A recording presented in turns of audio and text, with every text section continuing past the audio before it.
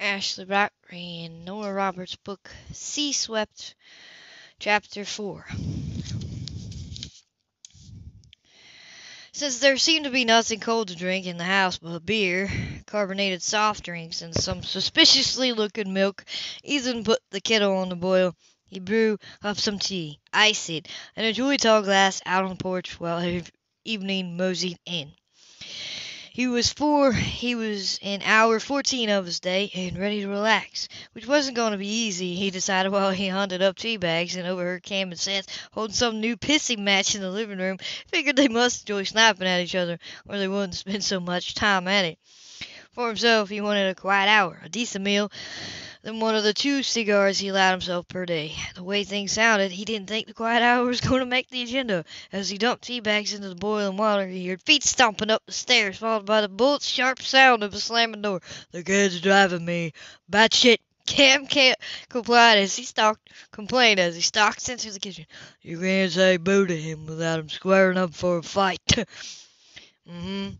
Argumentative, smart-mouthed troublemaker, feeling grossly put upon, Cam snagged a beer from the fridge.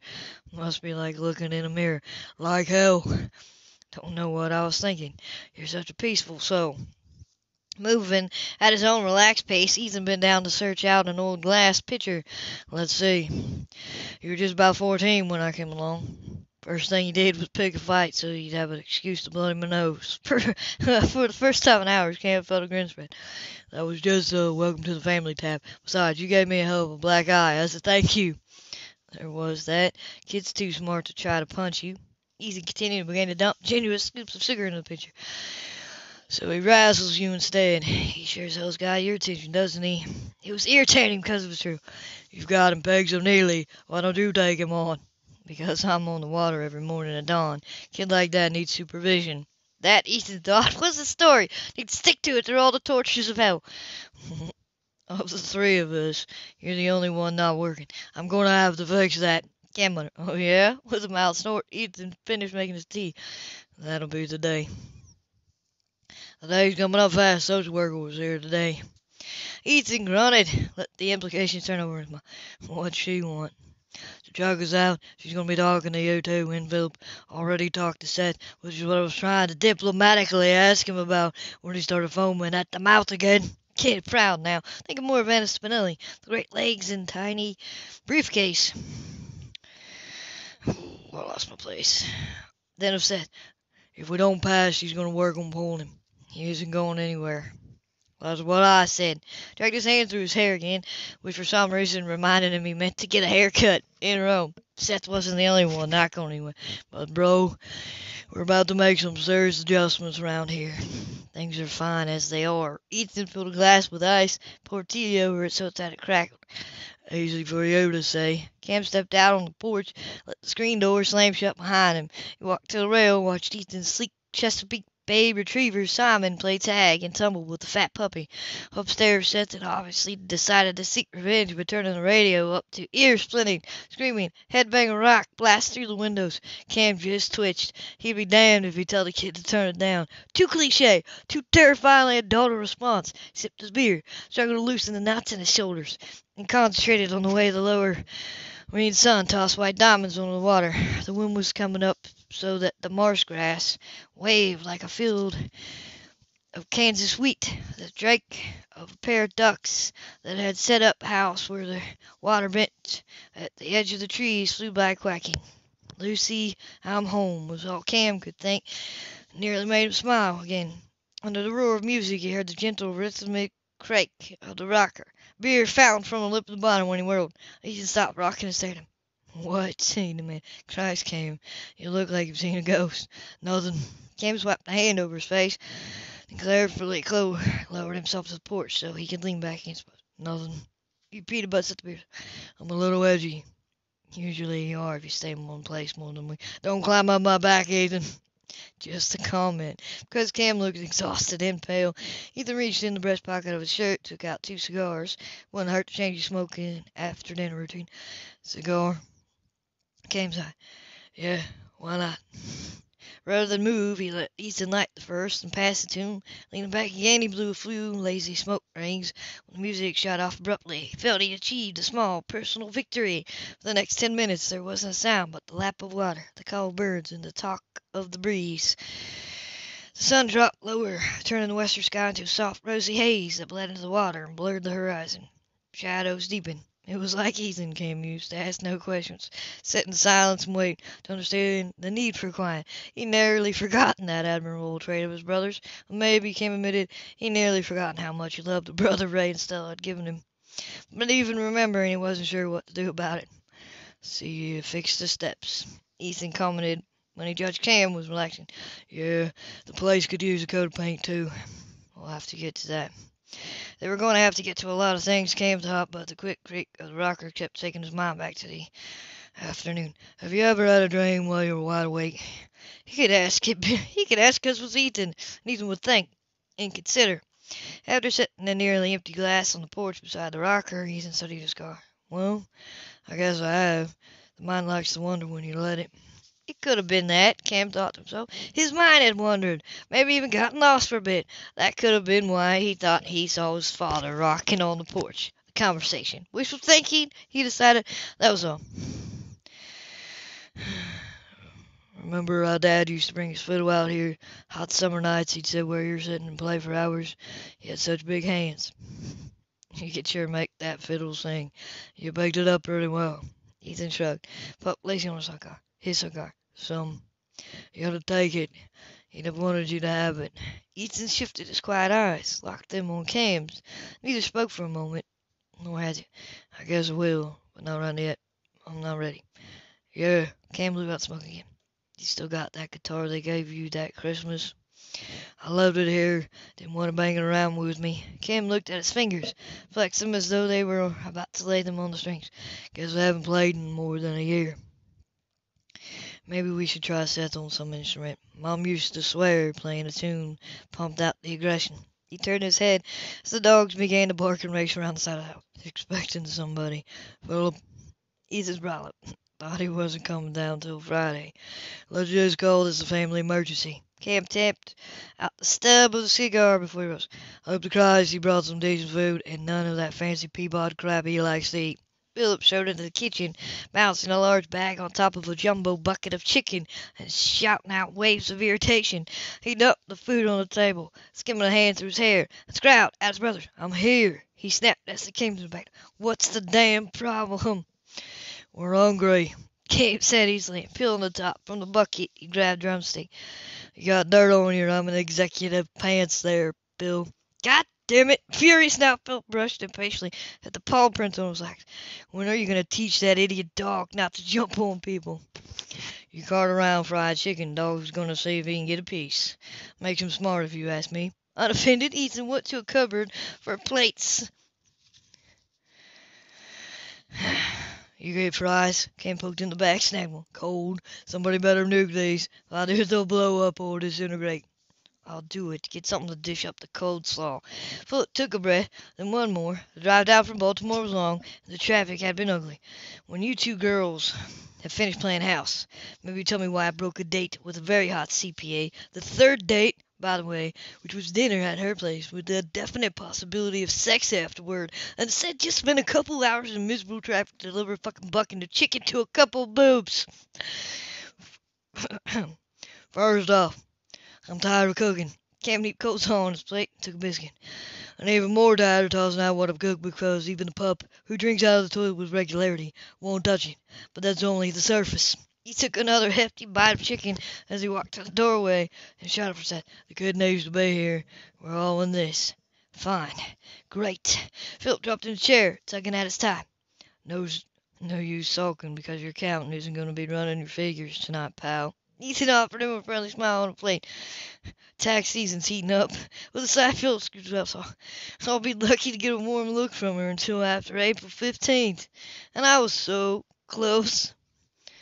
None of us are likely to be getting much action for the next little while. Cam jerked ahead as Seth's feet pounded down the stairs. The patter of a little feet plays hells with a sex life. Cam took away the urge for another beer, settled on iced tea as Seth stepped into the kitchen. The boy scanned the room, his nose twitching at the spicy chicken, but he didn't dive into the bucket as he would have liked to. What's the deal? he demanded and tucked his hands in his pockets while his stomach yearned. Family meeting, came out with food. Sit. He took a chair himself as easy and put the freshly buzzed fries onto. Sit. Can't repeat it once that stayed where he is. If you're not hungry, you can just listen. I could eat. Seth sauteed it over the table so it's got to be better than the crude you've been trying to pass off as food. You know, he said in his mild drawl, for Cam could snarl. Seems to me I'd be grateful if somebody tried to put together a hot meal for me from time to time, even if it was crude. With his eyes on Seth, Ethan tipped down the bucket, contemplating his choices, especially if that somebody was doing the best he could. It was Ethan, Seth flushed, squirmed, and shrugged as he plucked out a fat breast. Nobody asked him to cook. All the more reason might work better if you took turns. He doesn't think I can do anything. Seth sneered at Burkamp, so I don't. You know, it's tempting to toss this little fish back into the pond. Can't double salt on its fries. Struggle to hold on to a shimmering temper. I could be in a rowboat this time tomorrow. So go, says said Flash, full banger to pass. Go wherever the hell you want, as long as it's out of my face. I don't need you. Smart mouthed little brat, I've had it. Cam had a long reach. Used it now. Shoot a hand across the table and pluck Seth out of his chair. Even if Phil opened his mouth protest, Ethan shook his head. You think I've enjoyed spending the last two weeks babysitting some snot-nosed monster with a piss-poor attitude? I put my life on hold to deal with you. Big deal! Something turned sheet white and was ready for the blow he was sure would come, but he wouldn't back down. All you do is run around collecting trophies and screwing women. Go back where you came from. Keep doing it. I don't give a shit. Cam watched the edges of his own vision turn red. Fury frustration hissed in his blood like a snake primed to strike. He saw his father's hands at the end of his arms. Not raised, but the man who had used those hands on him with such casual violence throughout his childhood. Before he did something unforgivable, he dropped Seth back into his chair. His voice was quiet now, and the voice in the room vibrating with his control. If you think I'm staying for you, you're wrong. I'm staying for Ray. If you got any idea where the system will toss you, if one of us decides you're not worth the trouble, foster homes, I thought, strangers, or worse, her, because his legs were trembling badly, he locked his feet around the legs of chair. You don't care what they do with me. That's just one more thing you're wrong about. Cam said everything. You don't want to be grateful, fine. I don't want your goddamn gratitude. But you'll start showing some respect and you'll start showing it now. It's not just me who's going to be hounding your sorry ass pal. It's the three of us. Cam sat down again, waiting his composure to solidify. the social worker who was here today, Spinelli, Anna Spinelli, has some concerns about the environment. What's wrong with the environment? Ethan wanted to know. Nasty little altercation had cleared the air, he decided. Now they could get to the details. It's a good solid house, a nice area, school's good. Crime so I got the impression I'm the environment. At the moment, I'm the only one here supervising things. The three of us will go down as guardians. Philip pointed out. He poured a glass of iced tea and set it casually next to the hand to the hand set that fisted on the table. Imagine the boy's throat would be burning now, dry right now.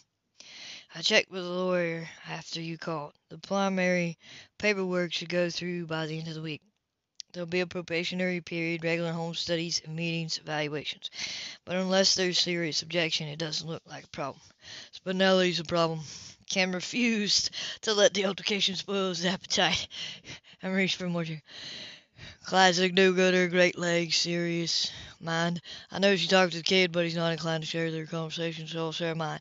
She had doubts about my qualifications as guardian, single man, no steady means of employment, no permanent residence. There are three of us. Philip frowned and pointed, poked at his saw. Of guilt was working through and he didn't care for it. Which on it out. Miss Spinelli of the gorgeous Italian eyes countered with the sad fact that I happened to be the only one of the three of us actually living here with the kid, and it was tactive, tactively implied that out of the three of us I'm the least likely candidate for guardian, so I tossed out the idea of all of us living here. What do you mean living here? Philip Trump spoke. I work in Baltimore. I've got a condo. How the hell am I supposed to live here and work there? That'll be a problem, Kimberly. Bigger one will be how you'll fit all your clothes into the closet in your old room. Well, Philip tried to choke out a response. Ethan tapped a finger on the edge of the table. He thought of his small, and to him perfect house, the quiet and solitude of it, and he saw the way Seth stared at his plate with dark, baffled eyes. How long you figured it would take? I don't know. Cam dragged both hands through his hair. Six months, maybe a year. A year. All Philip could do close his eyes. Jesus. You talked to the lawyer about it. Came Cam Say it was what? But we present a united front to social services, or they're going to pull them. And I've got to find work. Work? Phil's misery dissolved in a grin. You? Doing what? There aren't any racetracks in St. Chris, and the Chesapeake, God bless her, sure ain't the men. I'll find something. Study doesn't mean fancy. I'm not looking at something I'll need an Armani suit for. He was wrong. Can't realize this damn business was gonna spoil his appetite. The way I figured, Spinelli's gonna be back tomorrow, the next day at the least. We have to hammer this out. It has to look like we know what the hell we're doing. I'll take my vacation time early. Philip bid farewell to the two weeks he planned to spend in the Caribbean. That buys us a couple weeks. I can work with a lawyer, deal with a social worker. I'll deal with her. Can't smile. I like the looks of her, and I have to get some perks out of this. Of course, all this depends on what kid said to her today. I told her I wanted to stay, says Mumble. Tears were rolling in his stomach. Food sat untouchable. Ray said I could. He said I could stay here. He said it'd fix it, so I could. And we're what's left of him. Can't wait until Seth at his eyes so we'll fix it. Later, when the moon was up and the dark water was slashed by its luminous white beam, Philip stood on the dock. The air was cold now, the damp wind carrying the raw edge of the winter that fought not to yield to spring. It suited his mood. There was a war raging inside him between conscience and ambition. In two short weeks, the life he had planned out, plotted meticulously, and plentifully with deliberation and simple hard work had shattered. Now, still numb with grief for his father, he was being asked to transplant himself to compose those careful plans. Compromise those careful plans. He'd been 13 when Ray and Stella Quinn took him in. Most of those years he spent on the street, dodging the system. He was an accomplished thief, an enthusiastic brawler. He used drugs and liquor to dull the ugliness. The projects of Baltimore were his turf, and when a drive-by shooting left him bleeding on those streets, he was prepared to die to simply end it. Indeed, the life he'd led up to that point when he wound up in a gutter choked with garbage ended that night. He lived, and for reasons he had never understood, the Quinns wanted him. They opened a thousand fascinating doors for him. No matter how often, how defiantly he tried to slam them shut again, they didn't allow it. They gave him choices and hope and a family. They offered him a chance for an education that had saved his soul. He used what they'd given him to make himself into the man he was. He studied and worked, and he buried that miserable deep, miserable boy deep his position at Innovations, the top advertising firm in the metropolitan area, was solid. No one doubted that Phil Quinn was on the fast track to the top, and no one knew, no one who knew the man who wore the elegant tailored suits, who could order a meal in perfect French, and always knew the proper wine, would have believed he had once bartered his body for the price of a dime bag. He had pride in that, perhaps too much pride, but he considered it his true testament to the Quinns. There was enough of that selfish serve selfish, self-serving boy still inside him to rebel, thought of giving up one inch of it. But there was too much the man Rain Stella had molded to consider doing otherwise. Somehow he had to find a compromise. And looked back at the house. The upstairs was dark. Seth was in the bed by now. Philip mused. He didn't have a clue how he felt about the boy. He recognized him, understood him, and he supposed resented just a bit of those parts of himself he saw when young Seth Delotner. Was he Ray Quinn's son? There, Phil thought as his teeth clenched, more resentment at even the possibility of it, of the man he'd all but worshipped for more than half his life, really fallen off his pedestal, succumbed to temptation, betrayed wife and family. And if he had, how could he have turned his back on his own blood? How could this man who had made strangers his own his own ignore for more than a decade a son who'd come from his own body?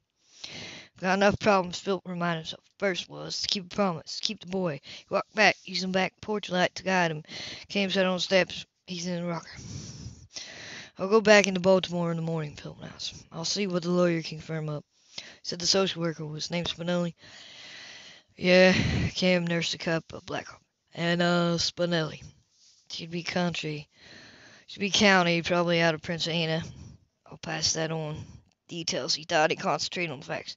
The way I see it, we're going to have to come off as three model citizens. I already passed. Phil smiled thinly. Two of you are going to have to work on your act. I told Spinelli I'd get a job. Even the thought of it disgusted Cam. I'd hold off on that a while. This came from Ethan, who worked quietly in the shadows. I got an idea. I want to think of it. Think on it a while more. Seems to me, he went on, that with Phil and me around, both of us working, you could be running the house. Oh, oh Jesus, what's all Cam could manage? It goes like this. Ethan paused, rocked, continued. You be what they call primary care- caregiver. You're available if the school calls with a problem, have to get sick, or whatever. Makes sense. Philip agreed, feeling better, agreed to Cam. You're mommy. Fuck you. There's no way ma for mommy to talk. If you think I'm going to be stuck washing dirty socks and swabbing the toilet, you wasted that fine education you're so proud of.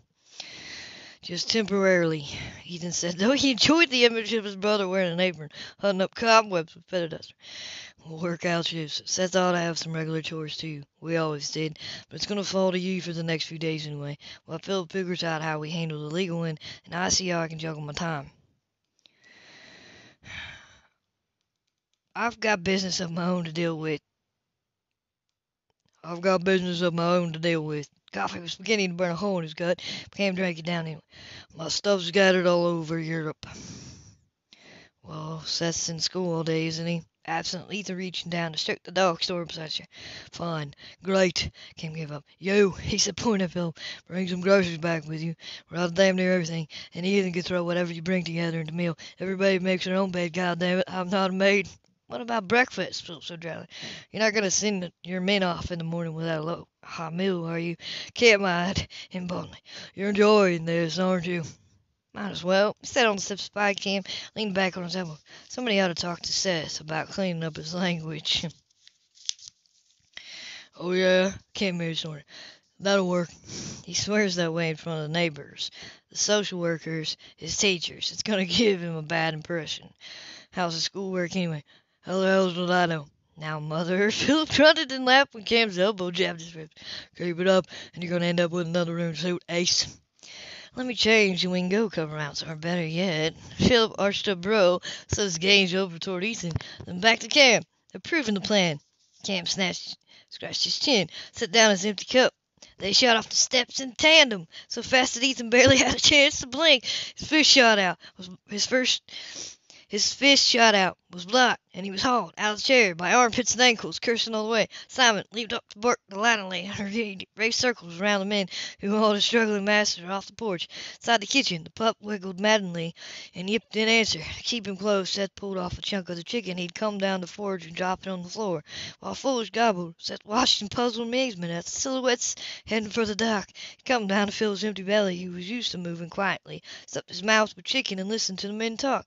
They acted like they were going to let him stay, even when they didn't know he was there to hear. They talked as if it were simply a fact. At least for now, he decided until they forget. Forgot they made a promise or no longer cared. He knew promises didn't mean squat, except Ray's. He believed Ray. But then he gone and died and ruined everything. Still, every night he spent in this house, between clean sheets with a puppy curled beside him, was an escape. What, whatever they decided, whenever they decided to ditch him, he'd be ready to run because he died before he went back to where he'd been full Ray Quinn. The pup was nosing at the door, drawn by the sound of laughter and barking and shouts. Seth fed him more chicken to distract him. He wanted to go out too, to run across the lawn, join in that laughter, that fun, that family, but he knew he wouldn't be welcome. They'd stop and they'd stare at him as if they wondered where the hell he'd come from and what the hell they were supposed to do about it. Then they'd tell him to get back to bed.